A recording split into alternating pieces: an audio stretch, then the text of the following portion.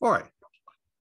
So uh, this week, I wanted to show you, yeah, yeah, glad you're welcome, Jordan. So I wanted to do the authentication labs. This is the, another easy topic and important from the Web Security Academy. So I've just logged into my Web Security Academy here and um, found the authentication labs.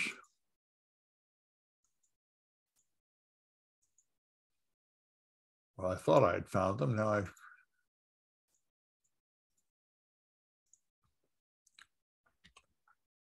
There we are. Here's the authentication labs. And I'll show you some easy ways and some harder ways to do this. So here's a lot of these labs. Let's go here to proxy history and clear all this old stuff. Okay, so the first one is where you learn how to do username enumeration. So I always open it in another tab, as I've done before. And then I open the lab over here. And then there are instructions here telling you how to do it. And I'm going to demonstrate it, but you can follow these instructions to see. So here is a page to get into. And the goal here is to break into the account. And they tell you a list of usernames and passwords to try 100 usernames and 100 passwords. So we're going to do a brute force attack. So I go into my account.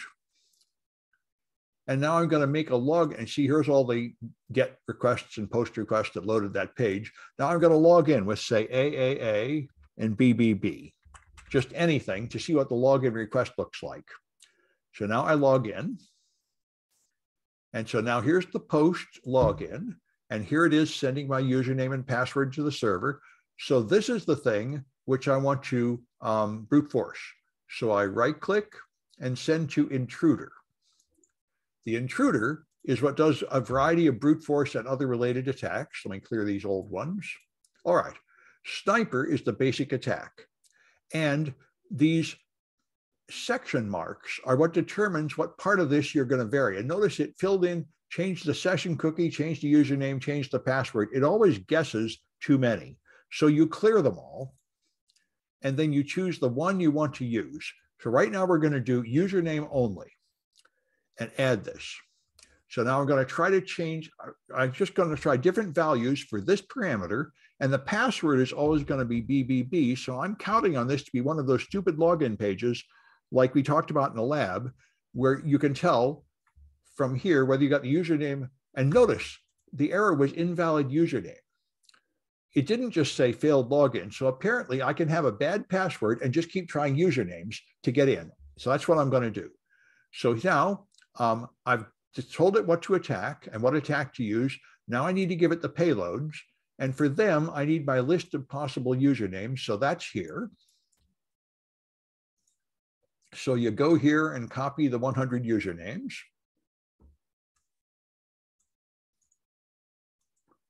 And then you go here and paste. And now it's got a list of 100 usernames, and then you start attack. And it warns you that it's going to be pretty slow just to irritate you and make you pay for the full version.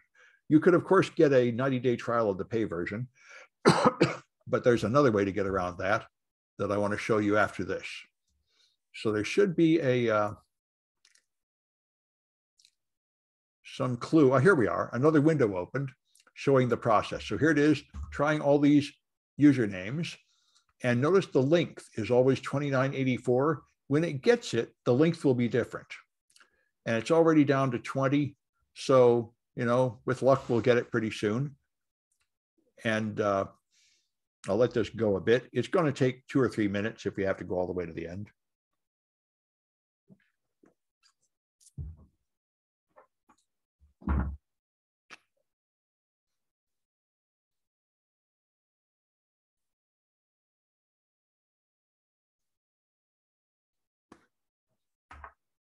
And we can just scroll down and look. None of them are different yet. If the list gets too long, you can sort it here.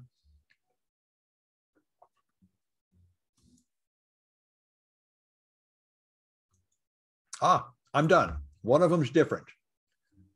And to see if that worked, oh, of course, you can do all this with Python. That's why I say if you, if you know how to program Python, you don't even really need burp at all. Burp is just a GUI for Python.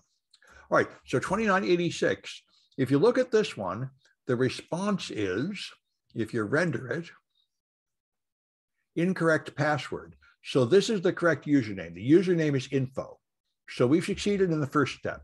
So now that I know the correct username is info, I can just cancel this attack. And now I go back to my history. Well, I can go back to my intruder actually here. And now I know I want to put info here. So let's clear the section marks and put in info. And now I just want to guess passwords. So I put the section marks there. And now I go to payloads. I clear the old stuff. And now I get the password options, which are here.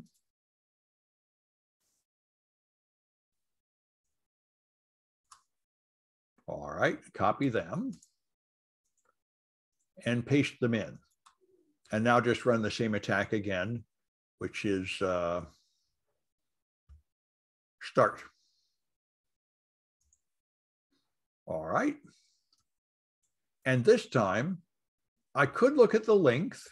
That would work, but really more likely is the status though, because typically when you successfully log in, it gives you a 302 redirect to go to like the user information page or something. So the status will often tell you that you got in. However, the links will be different too.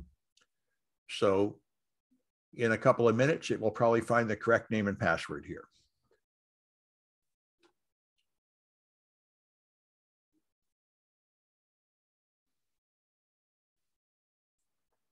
All right, it's going off the bottom, so I'm going to start sorting.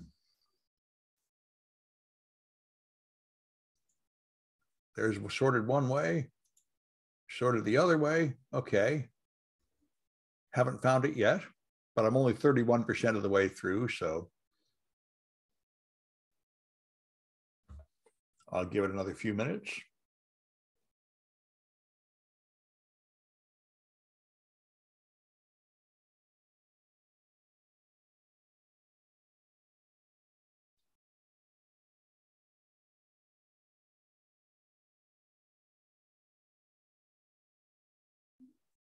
That looks like the new one's always showing up on top, so we'll see it when it comes in.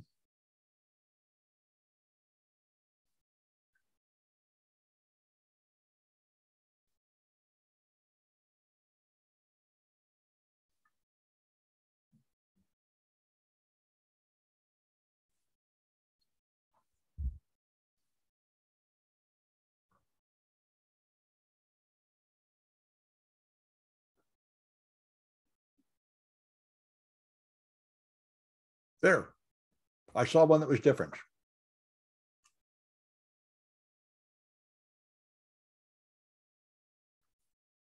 Right now, they're all coming different. I think something's happened, like my thing is timed out or something. No, it doesn't look terrible. Incorrect password, okay. But the length seems to have changed. That's a little disturbing. Let's see if the status has a 302 yet. Oh, it does. Okay, there we are. So it's Thomas is the right password. I don't know what happened to make the links change, but I don't really care. So Thomas is the password and uh, info is the username. So now we can win. It's info Thomas. So let's go back to here. And it's info and Thomas.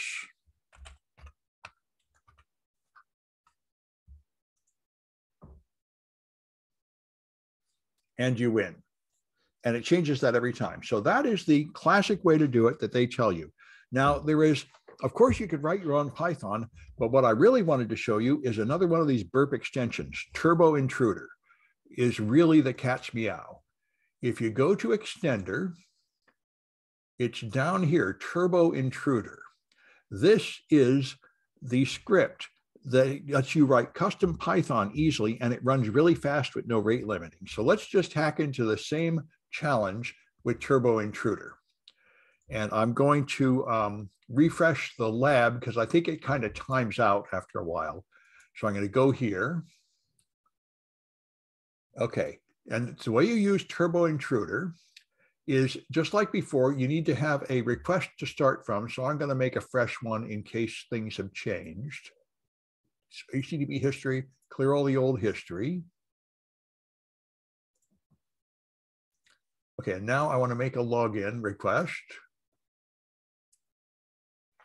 So I got to log out first. And now try logging in again. Okay, again with AAA and BBB. Okay, there's the post with the AAA and BBB.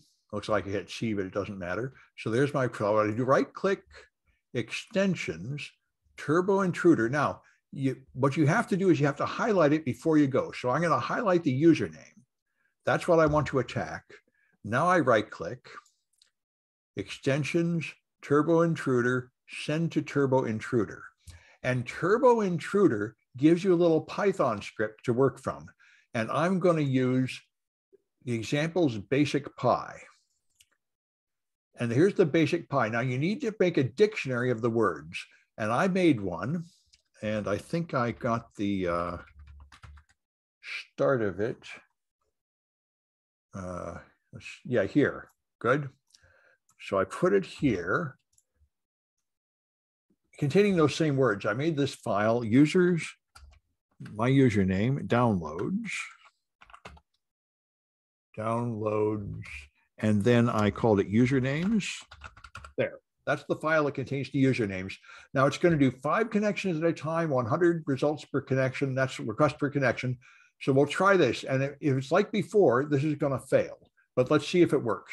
So there should be a start attack button somewhere. Um, why don't I see it? Oh, down here, attack. Okay, attack. And notice I'm getting different times, different lengths. Some of them are only four. Um, and down here, it's done 86 requests, but it had to do 73 retries and 12 fails. So it's going so fast, the server can't keep up with it. So this is not good. So let's go cancel this one, halt, go back to configure. I just had to slow it down. And I found out that just slowing down concurrent, concurrent connections seemed to work. Slow it to three connections instead of five. That seemed to work okay for these Web Security Academy things. So I'll start the attack again. And now see, it's working pretty well. No fails. And I'm getting the same length every time and it's already up to 46, 53, 60. It's going to do all 100 in just a few seconds. So it's done. It's done all 100. So now I just need to sort by, say, length and length. And they're all the same. This is going to mess up my beautiful demo. Length. Oh, there it is, 4923. So it's info. I guess it's the same as before. So info is the username. Now let's do the password. And um, the easiest way is to just start back from here. Password, let's, uh, let's put in info. Yeah, I'll put it in later. Highlight this, right click, uh, extensions, turbo intruder, send to intruder. Okay. And now um, I need to use passwords instead of usernames. Okay. And now I need to fill in the username of info up here. Okay. And now I think we're in business. And notice the syntax is a little different. This percent %s is what it uses, but we don't need to worry about that. It's set to go with three concurrent connections and 100. I think it will just run. There it goes. We're up to 15, 21, 27, and no fails. 45, 53, zipping right along, and we didn't have to pay anything. this extension um, sort of obviates the need to pay for burp if you're willing to put up with the fact that this is like less tested code. Now I short for status and status again. Yeah, and I'm not seeing it. We have to click here. Try sorting by length. Okay, there it is. It's there's the status somehow didn't sort correctly. might be why you want to pay for Bert to get a better stuff. But anyway, the length worked, and there it is, Thomas. And remember, info Thomas is the right answer. So that's what I wanted to show you for that one. And um, let's take a look at one more of these web security academies while I'm at it. Uh, so there was the username enumeration. And next one is two-factor authentication simple bypass. This one's pretty fun too. So I'll access the lab here. And the point is it's using two-factor. So we have an account, Wiener Peter, and we're trying to break into Carlos Montoya's account, but we don't have the two-factor authentication token. And so this one here, the vulnerability is in fact insecure direct object access. So Wiener Peter is good credentials. So what you do is you log into Wiener Peter. So W-I-E-N-E-R and Peter. Okay, so I log in with the right password. Oops, I must have done it wrong. Okay, W-I-E-N-E-R, Peter. Okay, I probably just typed it badly. W-I-E-N-E-R. Oh, caps, that'll do it. W-I-E-N-E-R, tab, Peter. All right, so I log in with a good name and password. And now it's going to ask me for a two-factor token. So I have to go here to my email client where it sent me the two-factor. And my two-factor code is 0839. So I put in 0839 and log in. And the point is this two-factor is not really secure. Instead of requiring the two-factor code to let you in, it just redirects you to this, uh, this page. So you copy that page. This is just the vulnerability we are talking about in lecture where there's multiple steps, but you can do the steps out of order. So now to get in the other guy's account, we log out and we put in the other person's name, Carlos Montoya.